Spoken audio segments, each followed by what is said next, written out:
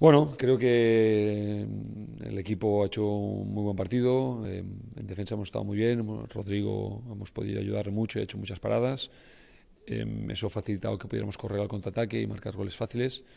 Y creo que bueno, ha sido un partido relativamente cómodo por, por, por cómo ha ido el marcador, pero sobre todo por las sensaciones ¿no? que hemos tenido en todo momento, partido controlado y, y muy contentos por ello.